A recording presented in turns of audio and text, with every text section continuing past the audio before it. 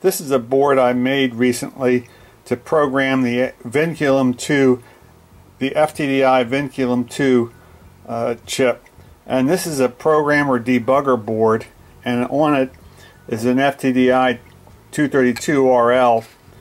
And I also used three small chips here that are ultra high speed buffer gates that uh, I use to combine the receive and transmit signals out of the FT232RL to make a half duplex signal to program the Vinculum 2 chip. Now, I thought it was kind of interesting to take a closer look at this high-speed buffer chip and what the, the way this chip works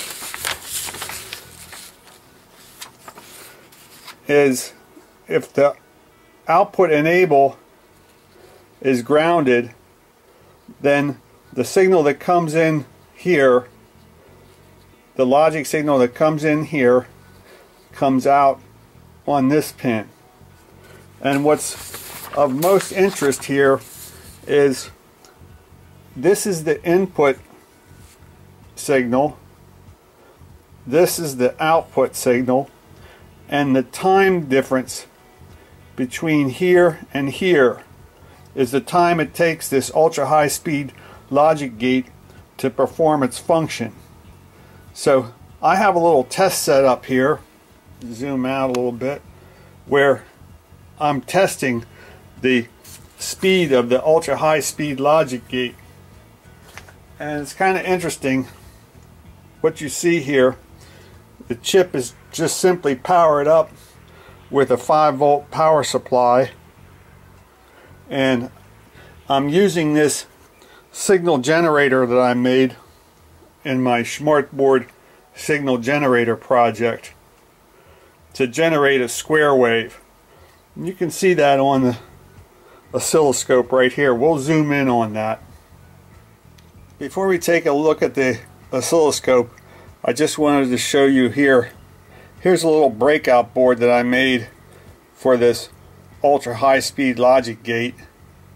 It's uh, commonly referred to as an 74HC 125 and this is the oscilloscope output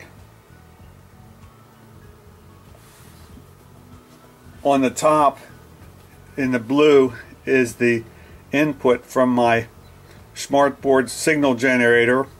It's a simple square wave and on the bottom is the output from the uh, high ultra high speed buffer gate and what's really interesting is to take a look as you make the time domain smaller and smaller you can begin to see it's down to 10 nanoseconds per division. That's 5 nanoseconds per division. I'm going to move this up a little bit so you can see how the input and the output is delayed by about well what this scope is showing is about 5 nanoseconds you can see that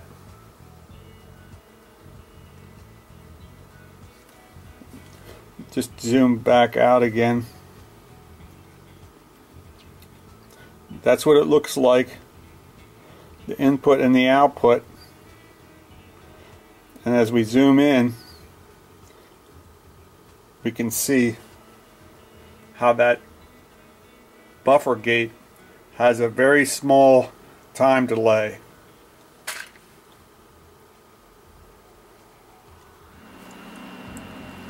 Here you see the signal on a old Tektronix oscilloscope. This scope is about 25 years old and I have it set at 5 nanoseconds per division. This is the input and this is the output and you can see the delay. I can move them a little closer there there they're right on top of each other at 5 nanoseconds